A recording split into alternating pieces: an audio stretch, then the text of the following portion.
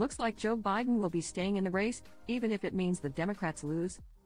In a new interview with ABC News host George Stephanopoulos, the 81 year old commander in chief expressed how he would not feel guilty about staying in the race even if rival Donald Trump wins in November.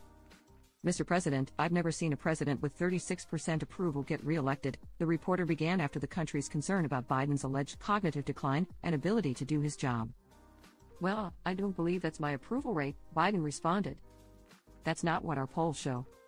Stephanopoulos followed up, and if you stay in and Trump is elected, and everything you're warning about comes to pass, how will you feel in January? I'll feel as long as I gave it my all, and I did as good a job as I know I can do, that's what this is about, Biden claimed. Concerns over Biden's mental abilities grew exponentially after his disastrous debate performance.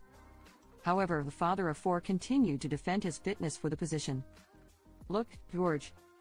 Think of it this way You've heard me say this before. I think the United States and the world is at an inflection point. When the things that happen the next several years are going to determine what the next six, seven decades look like, and who's going to be able to hold NATO together like me? Who's going to be able to be in a position where I'm able to keep the Pacific Basin in a position where we're at least checkmating China now? Who's going to do that? Who has that reach? He ranted.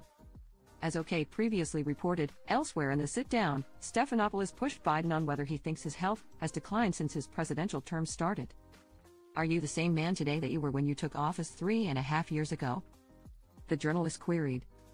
In terms of successes, yes, Biden insisted. I also was the guy who put together a peace plan for the Middle East that may be coming into fruition. I was also the guy that expanded NATO. I was also the guy that grew the economy. All the individual things that were done were ideas I had or I fulfilled, I moved on. But what has all that work over the last three and a half years cost you physically, mentally, emotionally? Stephanopoulos added. Well, I just think it cost me a really bad night. Bad run.